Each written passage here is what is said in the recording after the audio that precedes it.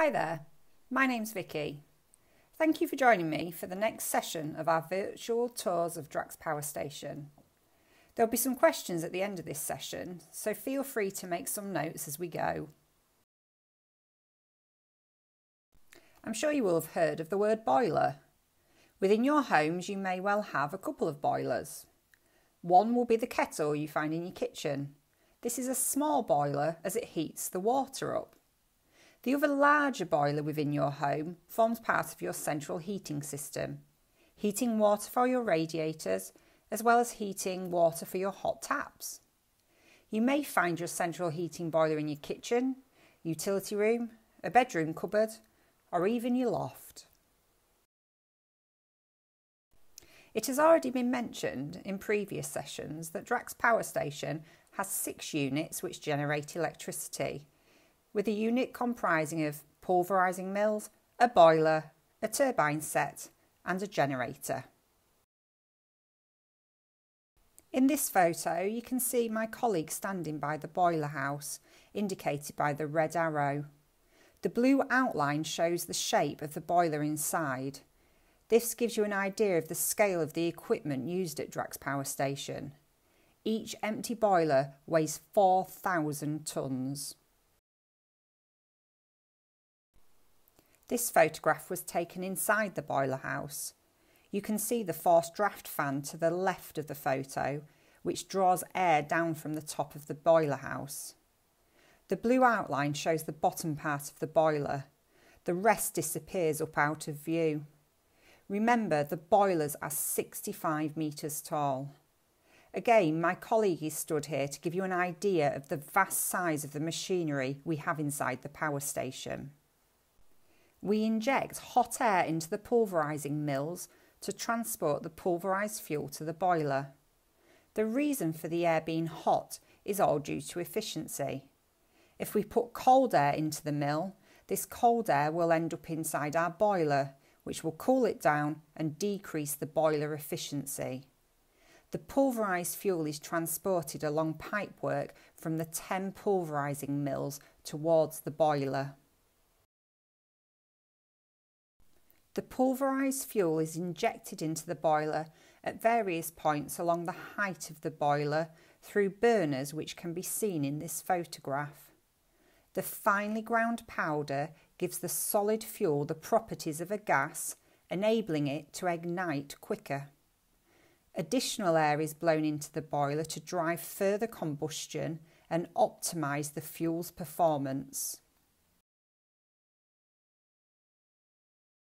The temperature inside the boiler can reach up to 1400 degrees Celsius. I'll discuss later in this session how controlling temperature can enable a reduction in emissions. In addition to this, how the fuel enters the boiler is also important to its efficiency. The fuel air mix is injected into the boiler in a spiral rotation to enable efficient combustion of the fuel. Again, we want as little wastage as possible.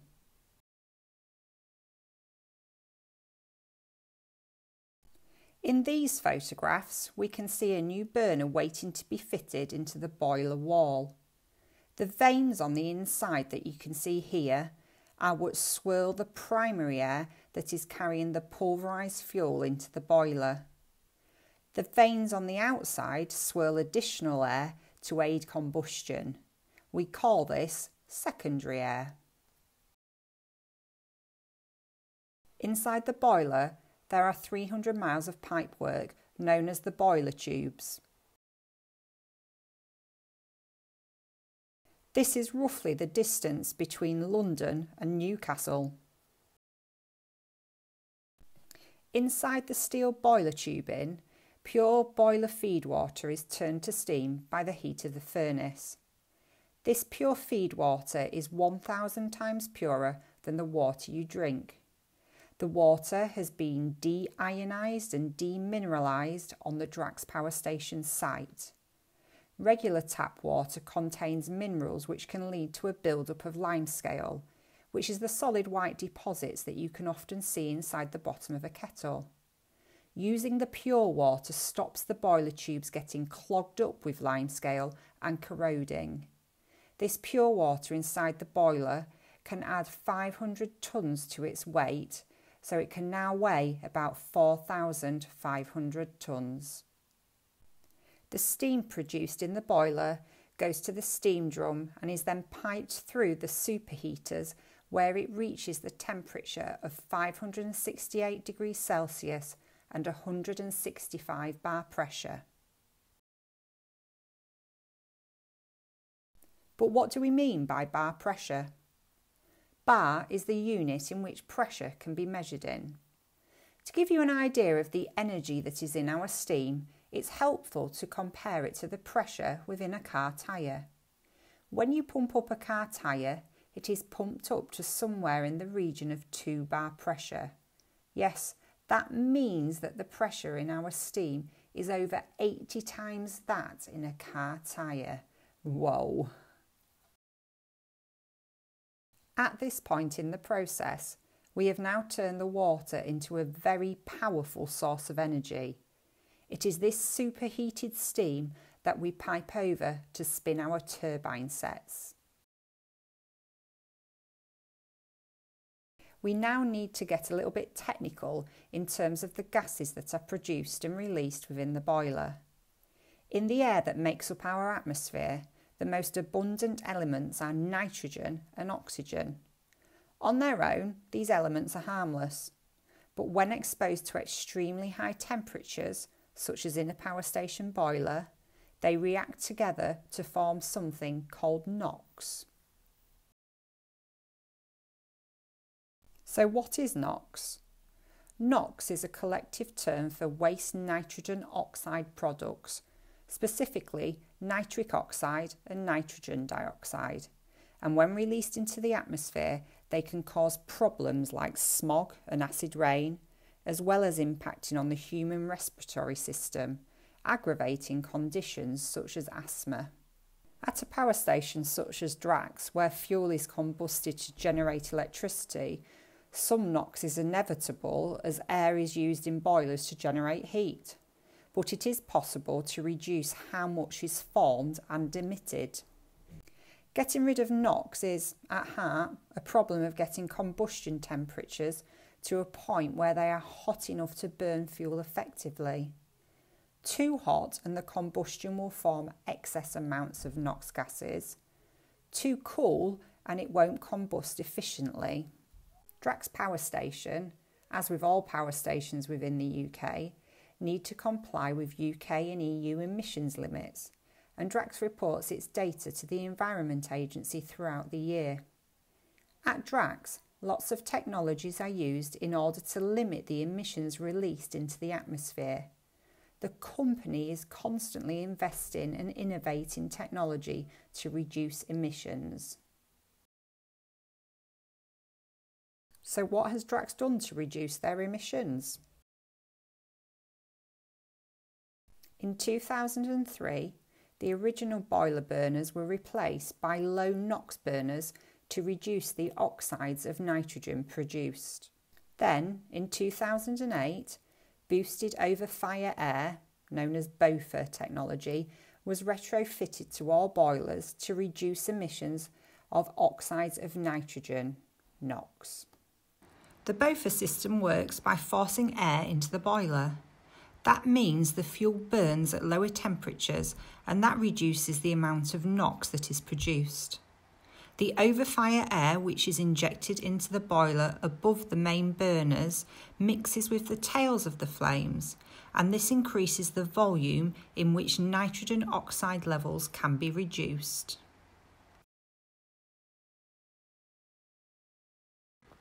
Drax further demonstrated its commitment to the reduction in emissions in April 2013 by successfully upgrading the first of its generating units to use compressed wood pellets called biomass. The power station currently has four of its six generating units running on biomass, with the fourth one having been converted in the summer of 2018. The sustainable biomass used naturally produces less NOx than coal, aiding the reduction in emissions. During 2015, selective non catalytic reduction SNCR technology was installed. SNCR is yet another method to lessen emissions of nitrogen oxide.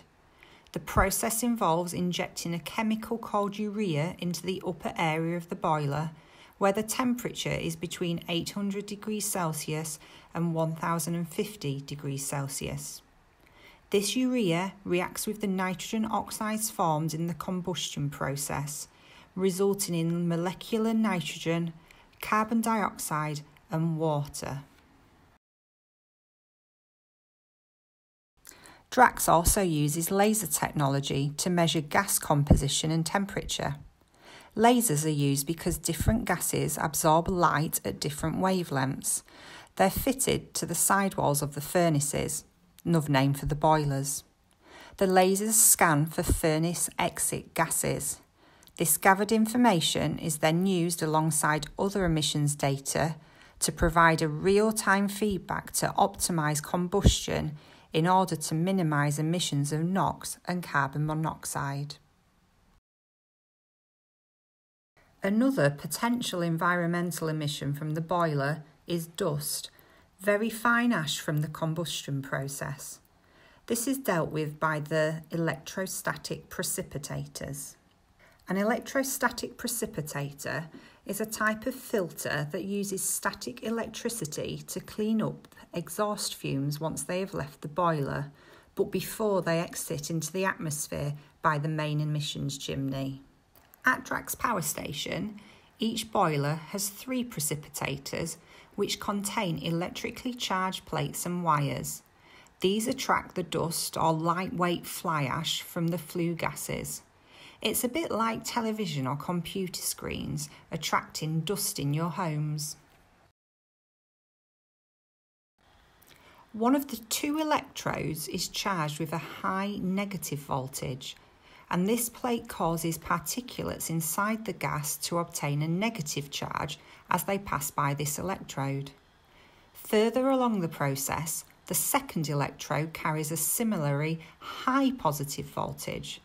Based solely on the fact that opposite charges attract, the negatively charged particles are pulled towards the positive electrode and stick to it. At regular intervals, the electrodes are rapped with a motor driven hammer and the ash falls into the hoppers below. To summarise, the exhaust gases coming out of the boiler are dusty. This dust is referred to as particulates, and we trap a lot of this particulate on electrically charged plates and wires inside electrostatic precipitators. This process means that the exhaust gases that leave through the chimney are a lot less dusty. The cleaned up emissions then continue their way to the main emissions chimney and are released to atmosphere. The chimney is 259 metres tall with foundations that are over 21 metres deep with 44,000 tonnes of reinforced concrete having been used to make it. It consists of three elliptical flues, each of which serves two boilers. The flues are reshaped to a circular shape where they emerge from the top of the chimney to extend another 9.1 metres. The chimney used to hold a world record as the tallest emission chimney in the world. It isn't now, but it is the tallest in the country. It's 101 metres taller than the Blackpool Tower, 15 metres taller than Canary Wharf, but 41 metres shorter than the Eiffel Tower. As you have seen, maximising efficiency whilst minimising environmental impact is important at Drax Power Station and the company have invested heavily in technology surrounding the boilers and their emissions. The Research and Innovation Department are always busy. Right, that's enough information. Let's see what you've remembered. If you can't answer a question, scroll back through this video and have another look. Question 1. What is the height of a boiler at Drax Power Station? Is it 70 metres, 65 metres or 60 metres? The answer is B, 65 metres. The height of a boiler at Drax Power Station measures 65 metres. Question 2. How many of Drax's six generating units run on biomass? Is it 2, 4 or 6? The answer is B, 4. Four of Drax's generating units run on biomass. Question 3. What is the chemical symbol for oxides of nitrogen? Is it CO2, N2 or NOx? The answer is C. The chemical symbol for oxides of nitrogen is NOx. Question 4. What does BOFA stand for? Is it boosted over fire air, boosted over fire ash, boosted over flame air? The answer is A. BOFA stands for boosted over fire air. Question 5. How tall is the main emissions chimney? Is it 529 metres, 259 metres, or 952 metres? The answer is B. The main emissions chimney is 259 metres tall.